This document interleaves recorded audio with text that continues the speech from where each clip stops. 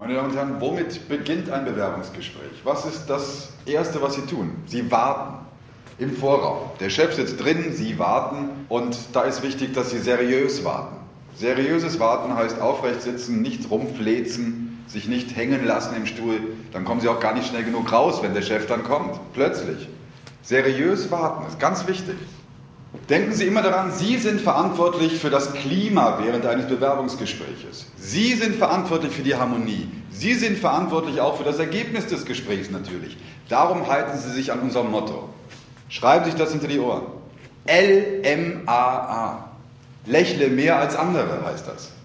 Lächeln Sie die Leute an. Sie werden merken, ein harmonisches Gefühl entsteht. L-M-A-A.